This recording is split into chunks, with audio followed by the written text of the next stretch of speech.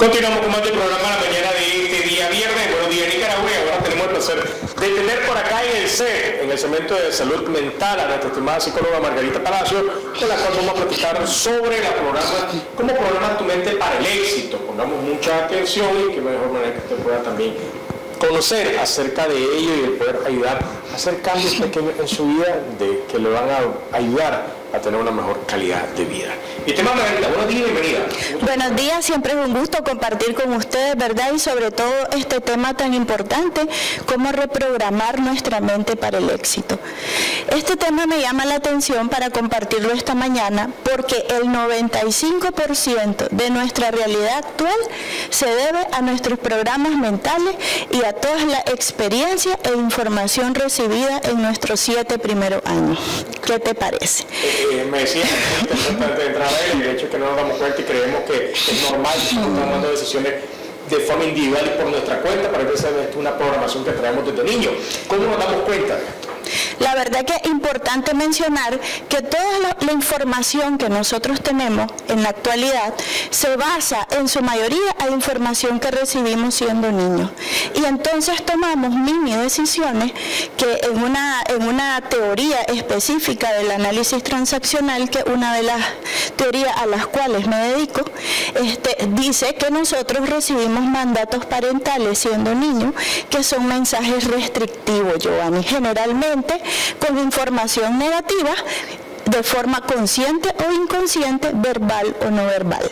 De repente, ¿cómo, ¿cómo puede programarse mi mente? Dice uno, mi mamá solía pasar enferma todo el tiempo.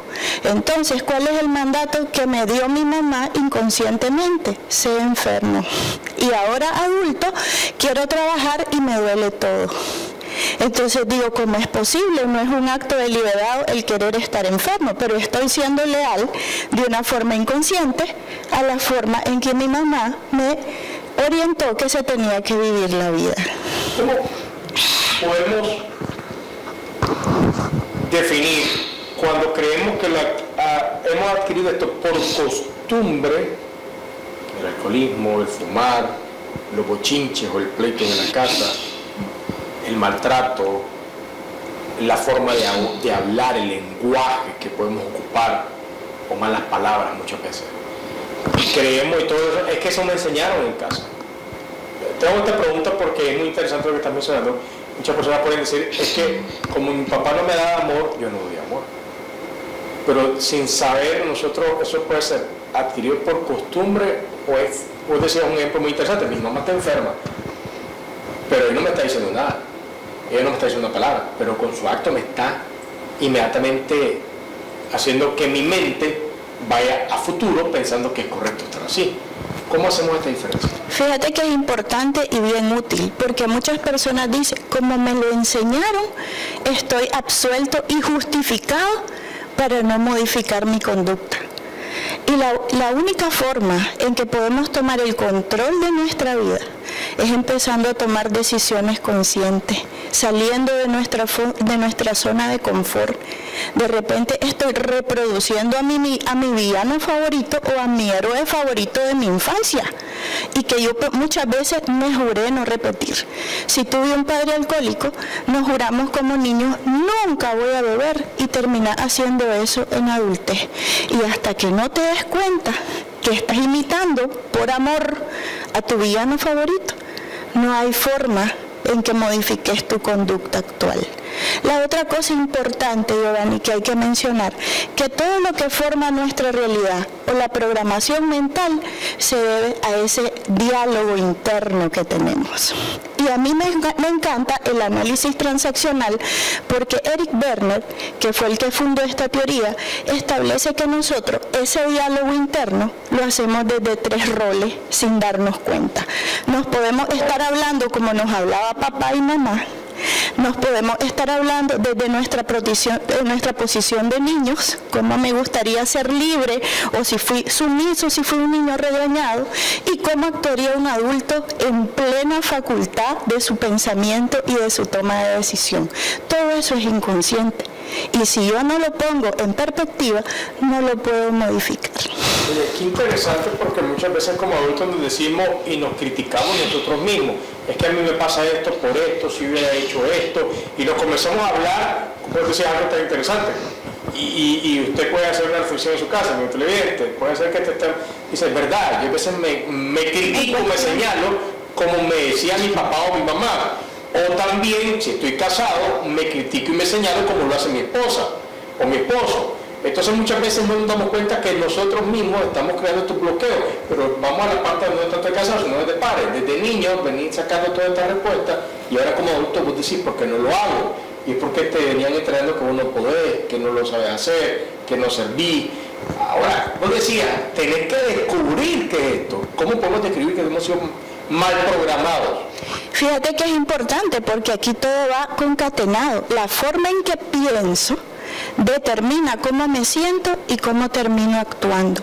Entonces, por ejemplo, si te invitan a dar una conferencia, viene tu pensamiento limitante de tu padre, no puedes hacerlo no estás preparado. Te dice tu niño interno, dale, si podés, sos valiente. Y te dice tu niño adulto, prepárate y lo vas a hacer. Vos decidís con cuál de esos mensajes inconscientes te va a quedar, pero si ni siquiera logras identificar qué es lo que te limita, no podés trabajarlo, Giovanni. Es importante mencionar y sobre todo traje a colación este tema hoy porque no podemos caminar con los pies sucios en la mente de un niño. Recuerden que todas nuestras palabras, nuestros actos están marcando la vida de los futuros hombres y mujeres de esta nación. Y si les hablamos con amor y proyectamos en ellos la fe que tenemos en la convicción de que van a lograr éxito en su vida, a los niños no les queda más que cumplir nuestras expectativas. Pero si como padres los sobreprotegemos, no confiamos en sus resultados, el mensaje que le estamos mandando es vos no podés sin mí, me vas a necesitar toda la vida.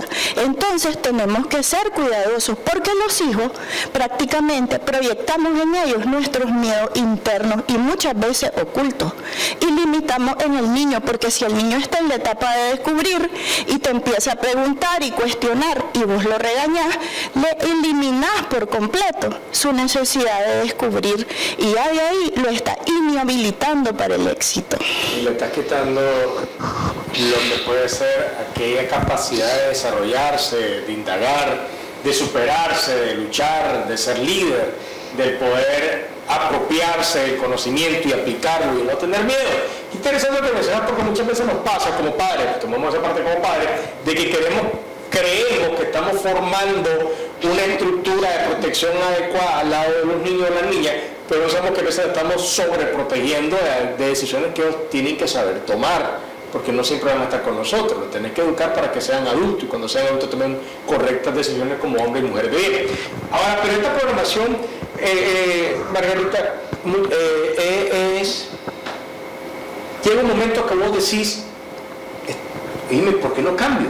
O sea, hay, una alerta, hay una alerta en tu mente, en tu carácter, en tu actitud que te dice, ya no quiero ser igual, quiero saber por qué soy así o no. Vos vivís normal siempre y como nunca tomaste en cuenta, no actúas y no cambias. Lo que pasa es que fíjate que mi profesor de matemática de la infancia me encantaba, Dios lo debe tener en su santo reino. Decía, el miedo a la caída, señorita, precipita la caída. Si usted ya visualizó que no lo iba a lograr, no lo vas a lograr. Todo está en la mente, si vos lo logras ver en tu interior, lo podés materializar en la realidad. ¿Qué pasa como adultos? Empezar a identificar qué es lo que me limita, en qué área estoy limitado. De repente puede ser que sea exitosa en mi área laboral, pero me cuesta mucho mi relación de pareja. ¿Qué es lo que me limita? de repente estoy reproduciendo patrones de todas las mujeres de mi familia que tienen un mandato, quédate sola. Y entonces inconscientemente estoy siendo leal a todo el linaje femenino de todas las generaciones anteriores, porque han visto al hombre como un agresor. Entonces, eventualmente, ¿qué es lo que hago inconscientemente, Giovanni, en una relación? Me, saboteo, inicio en una relación, le veo 10.000 defectos para terminar la relación y entonces la realidad determina lo que pienso. Ves, yo tenía razón, es mejor estar sola. Lo que pienso determina cómo me siento y a la larga cómo actúo. Entonces esto va sincronizado. Igual que mi pensamiento puede modificar lo que siento y lo que hago, también la actuación, si yo empiezo a cambiar la forma en que actúo, modifica mi emoción y por ende mi pensamiento.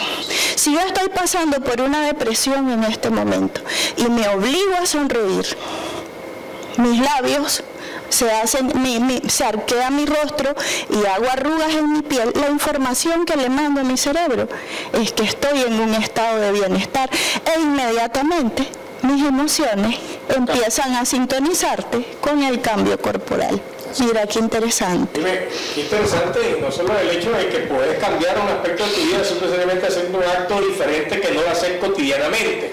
Si pasas molesto, comienza a reír comienza a sonreír, comienza a ser agradecido. Si te pasas quejando, comienza a ser agradecido. O sea, cambios que obviamente son aspectos que los podemos llevar a cabo en nuestro día a día y que pueden mejorar.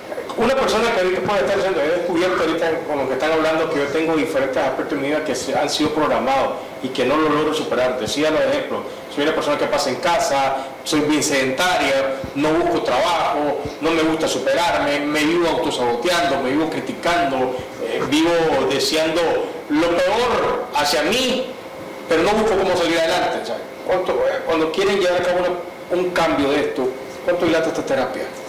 La verdad que lo primero es darme cuenta, me, provoca el darme cuenta a veces de que no logro llegar a donde quisiera estar porque esta programación limita mi desenvolvimiento en la vida. Y no solo limita mi forma de interactuar, sino también mi forma de desenvolverme.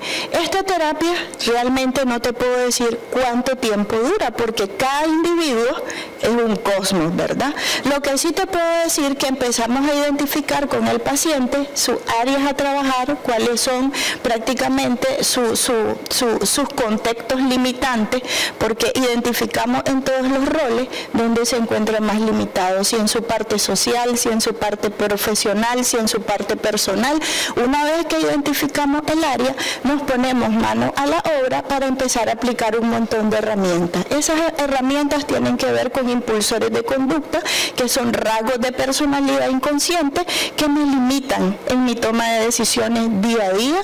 También empiezo a identificar a través de un montón de, de test, un montón de conductas parentales que verbales o no verbales recibí en mi infancia y que hoy forman parte de mi programación mental. Una de ellas puede ser no te diviertas. Entonces, eventualmente, cuando te invitan a un cumpleaños, vos la pasas genial en el cumpleaños. Pero ¿qué pasa cuando llegas a casa? Empiezan a desencadenarse un torbellino de emociones, de culpa, vergüenza, tristeza, y empiezo a desarrollar conductas para autocastigarme por haber pasado bien en el cumpleaños. Ahí es un área de trabajar.